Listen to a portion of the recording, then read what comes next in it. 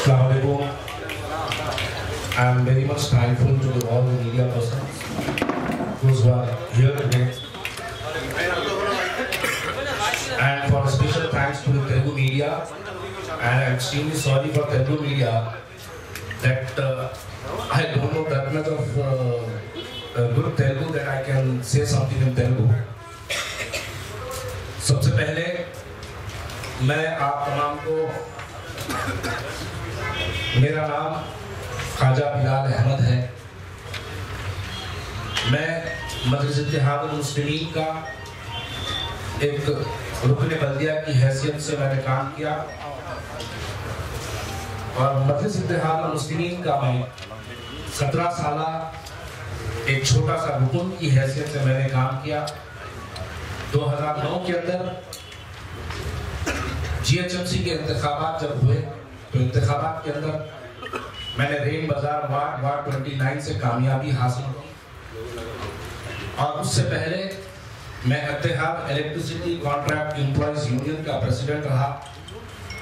اور حلقے کے اندر ایک سرگرم کارکن کی حیثیت سے میں کام کرتا رہا۔ پوری ایمانداری سے اور پوری دیانتداری سے میں نے جب جب مجلس اتحاد المسلمین کا جماعت کی جو پالیسیز تھی، تمام پالیسیز کے جماعت کا جو حکم تھا، حکم کے مطابق میں نے ہمیشہ عوام کے درمیان میں رہے کہ عوام کا کام کرتا رہا۔ سو اسی کو مد نظر رکھتے ہوئے چندر مجلس بیرسٹر اسد الدین اویسی نے مجھے دو ہزار نو کے انتخابات میں کارپوریٹر کی حیثیت سے اپنا امیدوار بنا کر اتارا۔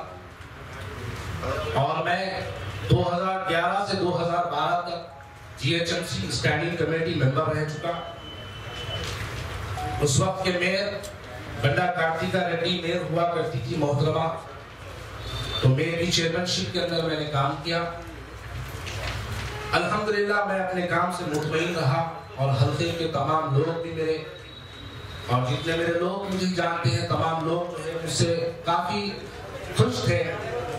اور میں نے جماعت کا ایمانداری سے کام نبھاتا رہا۔ ہمارے کام سے ہمارے کام سے، مجلس اتحاد المسلمین کے کام سے کن جماعتوں کو جو ہے فائدہ پہنچ رہا ہے اور کن سیاسی جماعتوں کو نقصان ہو رہا ہے؟ میں نے جب کافی زیادہ اس کے پیچھے غور و فکر کیا، تو آج آپ کو یہاں پر اور میں آپ کو یہ بھی بتاؤں گا کہ کس بنیاد پر میں نے مجلس اتحاد المسلمین سے دستبرداری حاصل کرنے کا اعلان کیا۔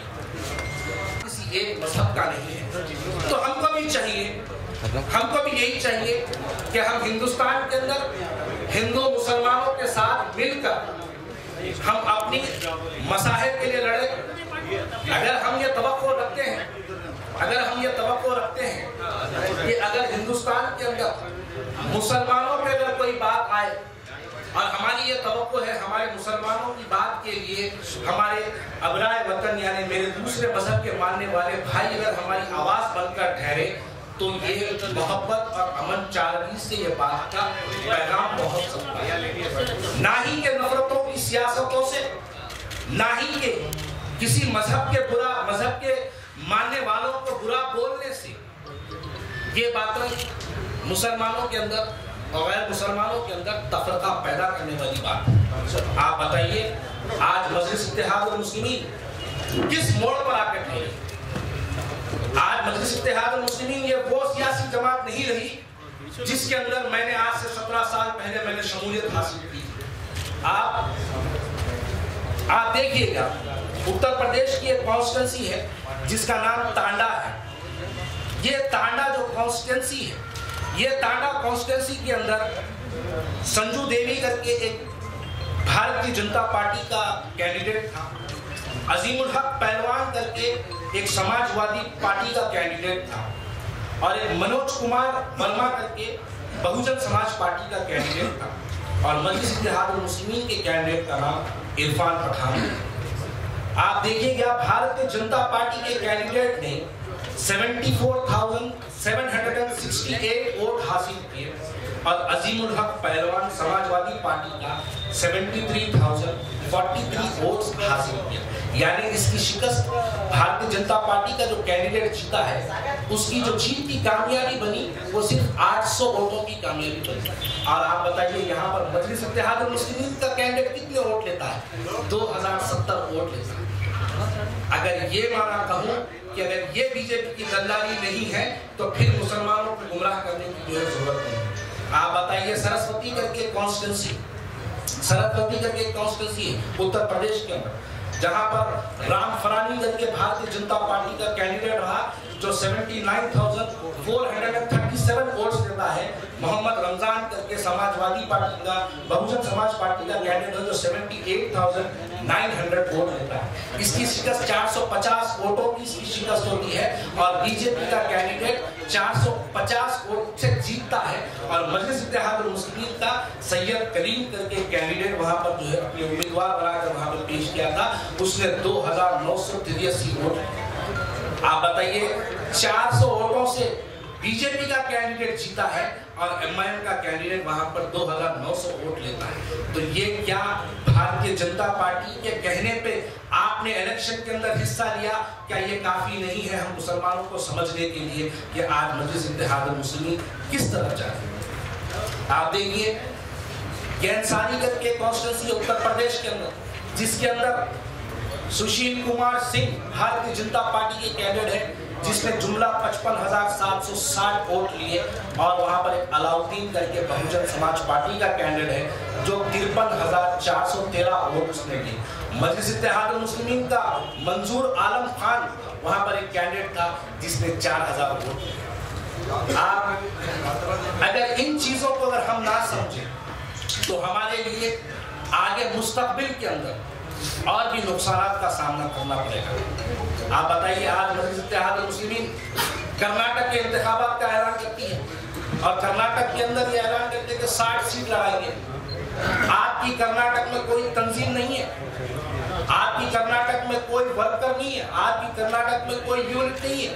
لیکن اس کے باوجود آپ کرناٹک جائیں۔ کیوں جا رہے ہیں؟ کیونکہ صرف وہاں پر کانگریس پارٹی یعنی ایک سیکولر پارٹی کو وہاں پر شکست ہو اور وہاں پر بھارتی جنتا پارٹی کو فائدہ پہنچانے کے لیے جیسے سابقہ میں انہوں نے اتر پردیش کے اندر فائدہ پہنچایا، ویسے ہی مستقبل کے اندر کرناٹک کے اندر بھی یہ فائدہ پہنچانے کے لیے وہیں پہ جا رہے ہیں جو بھڑکاؤ بھاشن دینے والے لوگ یہ لوگ اس کے ذمہ دار میں صرف بھڑکاؤ بھاشن سے مراد، میرا یہ مطلب نہیں ہے کہ میں صرف مسلمانوں کو کہہ رہا ہوں۔